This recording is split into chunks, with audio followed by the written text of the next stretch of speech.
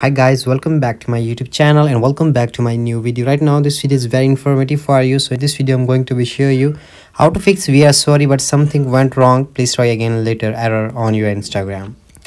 So as you can see here the uh, in the down here the error we are sorry but something went wrong. Please try again later. So how we can fix this type of error on your instagram this video i'm going to be show you. So if you're new in my channel then please don't forget to subscribe my youtube channel and hit the bell icon for my new videos. So without wasting any time let's get started the video first of all go to your app store and now here you have to search for instagram. On the top here search instagram.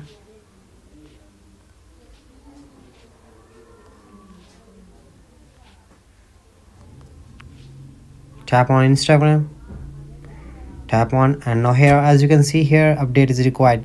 Uh, when you not update your instagram then you will face this type of error again and again because your instagram app uh, will be old and now you have to install this update and after installing the update then you have to go back to the home screen and try to check that your problem has been fixed or not. So if your problem still not be fixed uh, then make sure that you have the uh, network your network is good and now here turn on your airplane mode for 5 or 10 seconds and after that you have to turn off it again after uh, 10 seconds. And thereafter you have to connect your wi-fi network and after that check that your problem has been fixed or not. So if your problem still not fixed you have to go to your settings again tap on general tap on iphone storage and now here wait some second for the next tab tap on instagram tap on offload app options and again tap on offload app options. And once you tap on offload app options then you have to go back to the home screen and open your instagram. And now here you have to again reinstall your instagram app. And after reinstall your instagram app then you have to log in your instagram account and check that your problem has been fixed or not. So i hope your problem has been fixed and i hope my video is informative for you. So if my video is informative for you then please don't forget to subscribe my channel